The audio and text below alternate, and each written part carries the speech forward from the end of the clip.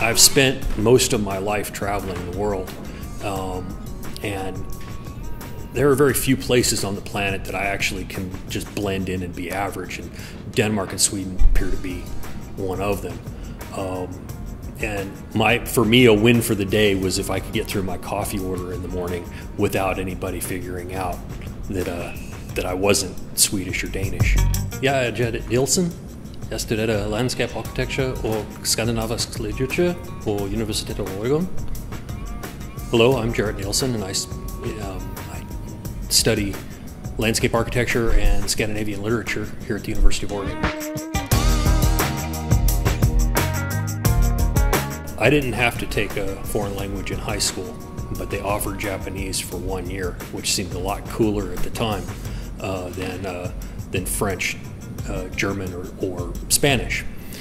And uh, so the idea being that I knew that I was going to go into service anyway, and Japanese seemed a little bit more relevant than the other three languages. So I took a year of it and very much enjoyed it. Um, ended up using it on my first duty assignment in Okinawa, Japan. Um, also speak some of it at home uh, with my wife of 22 years. Um, the Danish was self-studied, self-taught. Uh, my family comes from Denmark. My grandfather was the last that spoke Danish. He grew up with it, and uh, he refused to teach his children Danish because we're Americans, and by God, we're going to speak American and he uh, and so it, the, it, basically it died with him.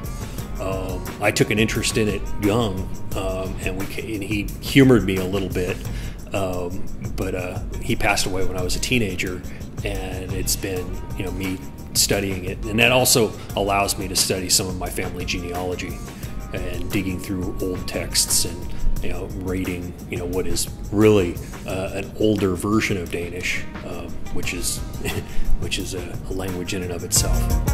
Nordic languages, the Norwegian, Swedish, and um, Danish, all have a lot of they're they're grammatically in common.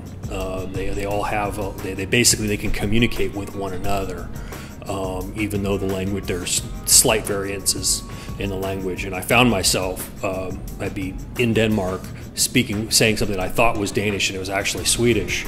Um, and then I would get corrected. Oh, yeah, that's not the word that we use. Uh, here, how about we talk in English?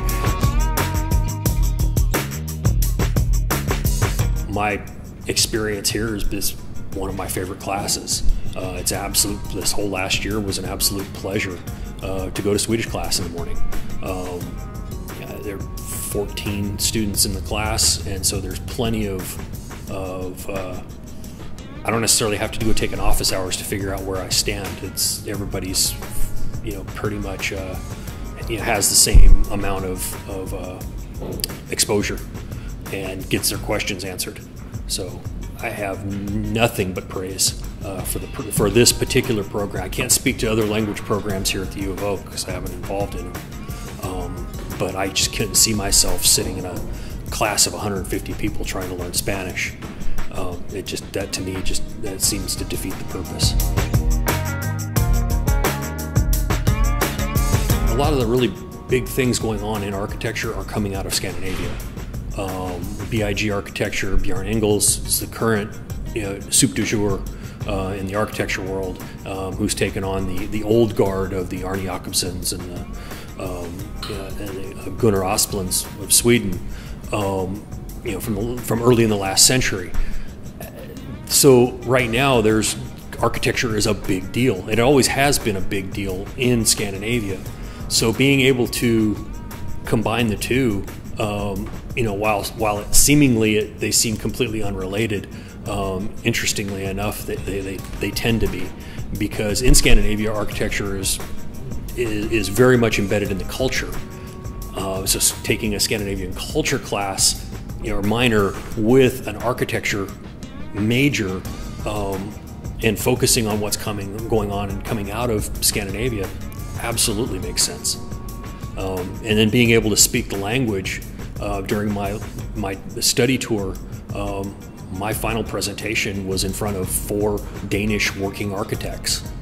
So being able to get up and introduce myself in their own language already breaks the ice and you know creates a, an already a, almost an equal footing.